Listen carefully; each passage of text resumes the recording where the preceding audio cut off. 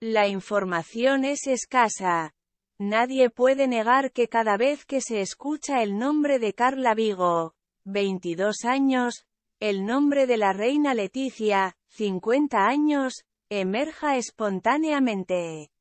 Si bien, el lazo que mantienen se mantiene bajo un hermetismo absoluto, se sabe que la esposa del rey Felipe está atenta a todo lo que tenga que ver con la hija de su hermana. De un tiempo a esta parte, la presión mediática alrededor de la joven artista había disminuido. Esto como consecuencia de la confesión que realizó a través de redes sociales donde dejaba en evidencia un tema un tanto delicado en cuanto a su salud.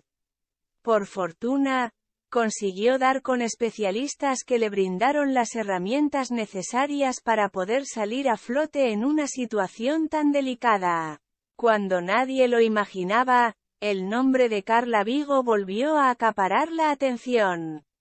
Los trascendidos fueron concretos y confirmaron que el pasado 19 de agosto la sobrina de la reina de España fue ingresada de urgencia en el Hospital La Paz de Madrid.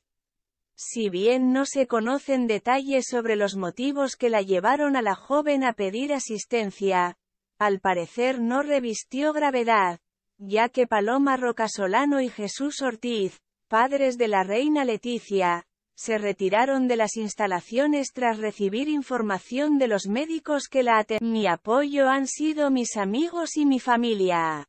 También el baile porque me ayuda a no pensar en nada y a cuidarme de todo. Desde entonces el hermetismo volvió a caer alrededor de la joven artista. En las últimas horas, fue Carla quien a través de sus redes volvió a acaparar la atención de la prensa. En esta oportunidad, una publicación en la que se revelaba el trágico final de un caso que mantenía en vilo a la localidad de Aranjuez, lugar en el que la sobrina de la periodista creció fue lo que sumió a la bailarina en una profunda tristeza.